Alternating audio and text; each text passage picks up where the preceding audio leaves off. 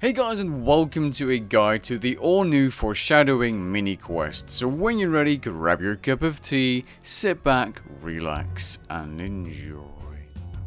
To start this quest, go to the Varrock Lodestone and speak to Ralomia inside the Blue Moon Inn. Once you get the dialogue to accept the quest, accept the quest. After that, go ahead and click on the table and grab yourself a drink and a hat. After you've done that, drink the drink and put on the hat which by the way looks a little ridiculous. You will then have to answer different questions consisting of the Vampire Slayer, Dragon Slayer, and Demon Slayer quests. I don't know if they're in the exact same order every time, but here are the correct answers. At least, these ones worked for me. Now I will skip this part of the footage because it's simply answering a bunch of questions and reading the dialogue. After that, she will knock you out and steal your identity. After that you'll be in Death's office, just please read the dialogue, do yourself a favor and have some fun because this quest or this mini quest is actually hilarious. After the conversation is finished, head through the eastern door.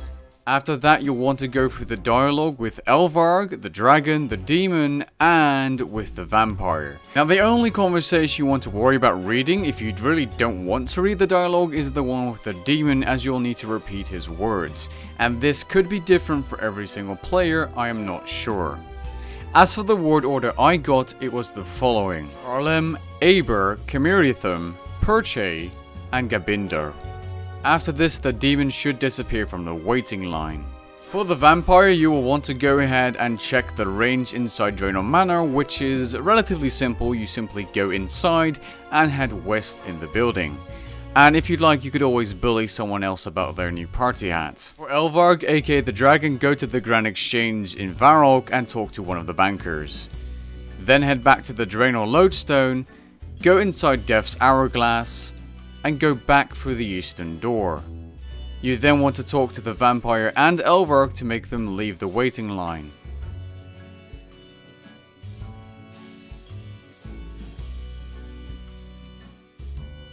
You can then speak to Closure. Go through the conversation until he gives you the contract.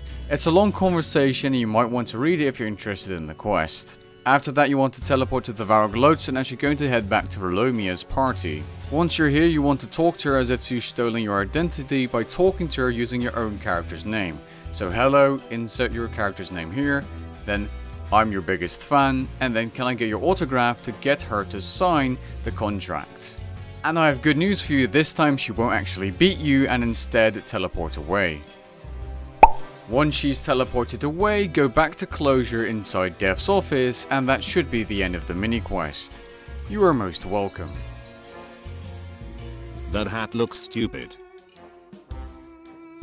And you know it. You didn't peek inside, did you? I did not. That would have been rude, right, but chopping off my head wasn't? It's raw, Melissa!